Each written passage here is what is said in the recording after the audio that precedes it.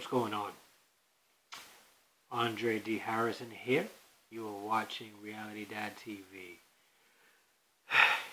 boy, oh boy, these past couple of months have been absolutely crazy. As you know, I started teaching third grade class. I love my kids, love my students. Um, they need a lot of support, but I love them so much. Grown to see the best in each and every one of them. And it's challenging but I'm enjoying this journey. I am enjoying teaching them. I'm enjoying. I am enjoying learning from other teachers. Um, and also, as you know, I have been working at the Carter Center at night. It's been absolutely crazy because I'm exhausted. I'm tired.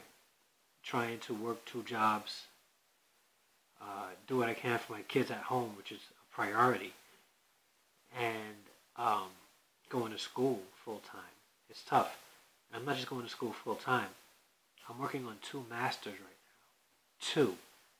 Trying to finish up my master's in family, marriage and family counseling. And I'm also working on my master's in education. I don't know what's wrong with me. I don't know. I'm a glutton for punishment. I am. I'm doing way too much. But I'm trying to finish up as much as I can, as quick as I can, so that I can reap the benefits of the hard work sooner than later. But one thing I am grateful for are my sons who have been absolutely patient, like really, really patient. Daddy's been busy. Um, Daddy's been doing the best he can, and they've been patient with me, very patient with me, and I appreciate them so much. Everything that I'm doing is for them to let them see what they can achieve and how far they can go. Because um, my goal is for them to go even farther than I could. So I'm looking to raise the bar so that they can at least reach that bar that I have set for them and go further. So I'm going to push them to go further. So that's my goal. But it's tough. I'm, I'm, I'm hurting here. I am drained, like drained. But um, I'm going to keep going, keep pressing through because this is only temporary. I will be done with my Master's in Marriage and Family Counseling this coming May within seven short months. Um, I'll be done with my master's in marriage and family counseling. Uh, then the year after that, I'll be done with my master's in education. And then I'll go to pursue my doctor, my doctor of education. Hopefully, if that's in God's plan, probably after I clear up my student debt, which is all from Liberty University. Thank you, Liberty, for putting me in even more debt. I appreciate it. but um yeah. But it's been challenging, boy.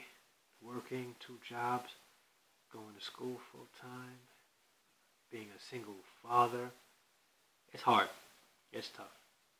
But it's uh, an adventure that I am happy to put on my shoulders. Or uh, not a burden, but um, an adventure that I am happy to live in and a support that I'm willing to put on my shoulder for my kids.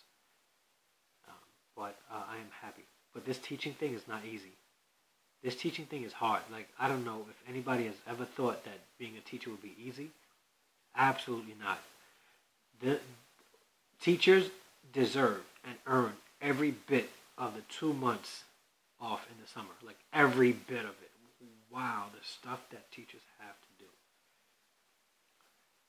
some people say, well, teachers, what, how bad do they have it? They have to, they, they get out at 3 o'clock and then they have two months off and then they have all school holidays and vacations.